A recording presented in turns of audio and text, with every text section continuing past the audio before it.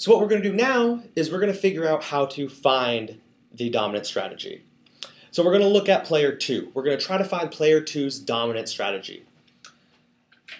What we're going to want to do is we're going to want to set player 1's strategy at A. We're going to fix it to A. So we're going to say player 1, they are going to be playing A.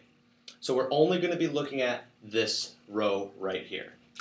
So if player 1 is going to play A, let's just block out them playing B. We want to figure out what is the best payoff for player two. And his best response